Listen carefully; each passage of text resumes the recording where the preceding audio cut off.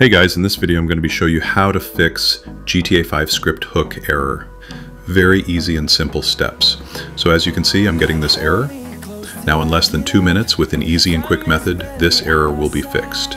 Just follow my instructions. First, go to Chrome and search script hook 5 download latest version. Then go to first website that appear and click on download. After downloading this file, open it and copy all files inside a bin folder. You can copy trainer file too if you want. It's just a trainer that comes as default, but I didn't copy as I don't need this trainer. Now copy all files and go to GTA 5 folder where game is installed and paste it. It will ask for replace or skip. Click on replace and it's done. Now open your game and it will work like charm.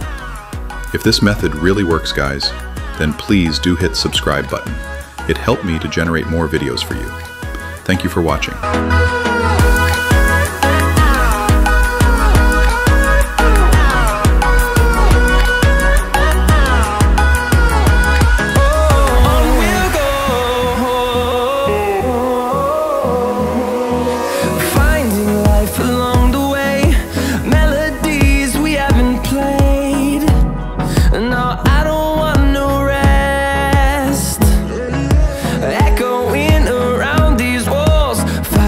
to create a song.